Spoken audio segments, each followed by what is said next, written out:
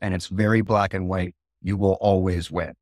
And though it's not the best option if you could avoid it, it's always best to try to get everyone to agree to sell the property. You can force the sale through the court system. There's going to be court fees. Typically, distressed Mm. parties get lower purchase prices. So it's not the best option. The best option is to list your property with someone like you and get a dollar for it. And typically, when you have a situation where maybe there's one holdout or, or one person who doesn't agree, eventually they don't agree to sell because they realize they have no chance of stopping it. And they're going to Yeah. get less money if they force it through the court than if they just agree to sell it traditionally. If I inherit property with my siblings and it's hard to get us to agree on anything, half of us decide we want to sell to get the money out because nobody wants to be a landlord, and the other half will say no, we want to keep the property. Then we're at a stalemate at that point because all of us has to sign